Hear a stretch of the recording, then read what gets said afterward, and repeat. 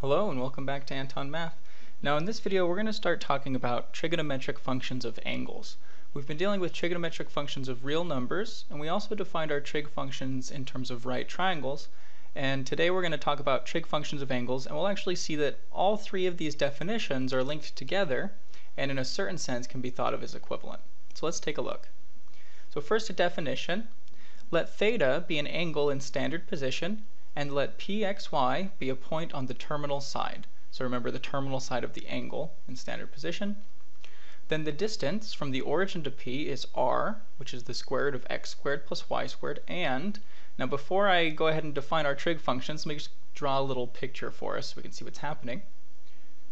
I'm saying I have an angle in standard position, so I have an xy coordinate plane my angle in standard position means that I'm using the x-axis as my initial side. This is my terminal side here. So here's my angle theta between the initial side and the terminal side. Now I'm saying that I'm going to take some point P on my terminal side, pxy. Let's go ahead and draw this down here. So this distance here is my y.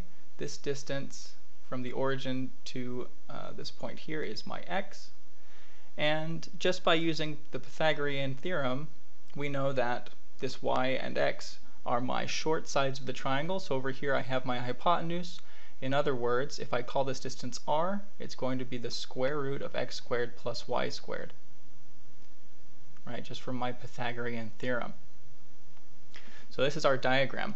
Now, we can define our trig functions for theta in terms of this diagram, where I'm going to define sine of theta as being the ratio between y and r, cosine of theta as the ratio between x and r, tangent of theta as the ratio between y and x. Now of course here I have a requirement. Remember we can't divide by 0, so tangent of theta is only defined when x is not equal to 0. Uh, in other words, if I have an angle of pi over 2 or 3 pi over 2, all those angles we're used to with real numbers, um, those angles will still not be defined at tangent. I have that my cosecant of theta, we know cosecant of theta is just 1 over sine, or in other words here, r over y now here I need that y is not equal to 0. I can't divide by 0. Secant of theta we know is the reciprocal of cosine. So this is going to be r over x, where x is not equal to 0. And cotangent of theta, the reciprocal of tangent, or x over y. And of course I need that y is not equal to 0. So this is how we define the trig functions of angles.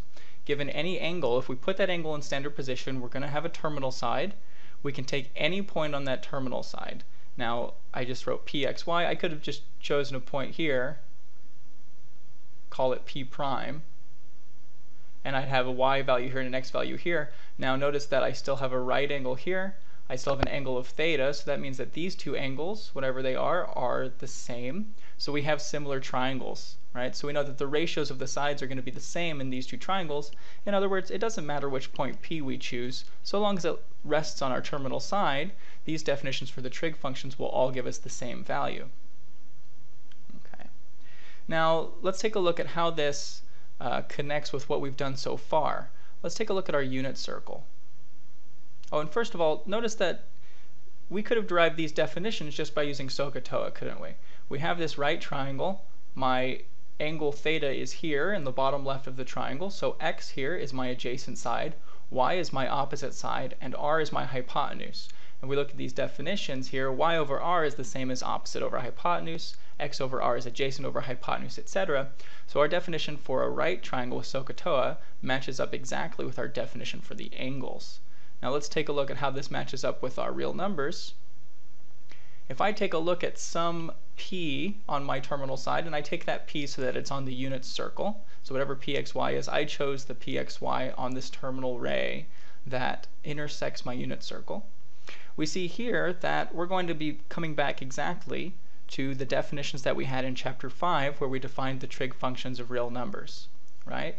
Here my radius is 1, so in other words, my hypotenuse of the right triangle is 1, and I have that sine of theta.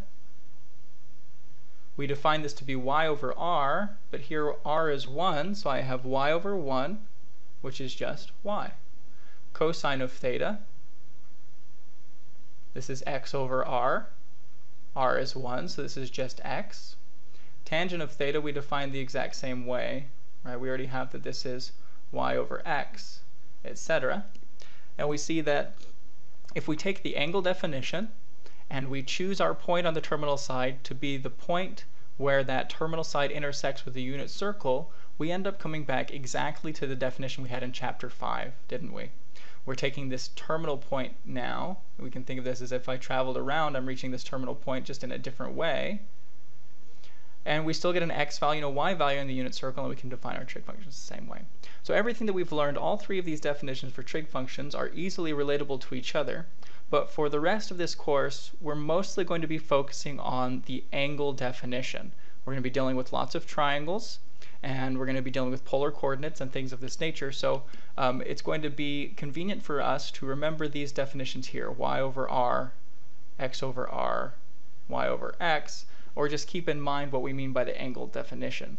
Now really we're going to be using mostly SOHCAHTOA, but um, that's still the definition in terms of the angles. Now, just like in chapter 5 where we had reference numbers, we're going to have reference angles here that are going to help us to easily solve out these trig functions evaluated at any angle just by knowing the trig functions for angles here in quadrant 1. So we'll go over that in the next video and we'll do some examples and we'll see you there.